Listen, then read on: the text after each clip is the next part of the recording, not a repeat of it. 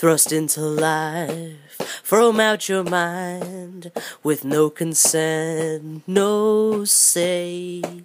And to this life, I have to say, I wouldn't live even one day. So sorry, but now make it worth my while and buy my brain.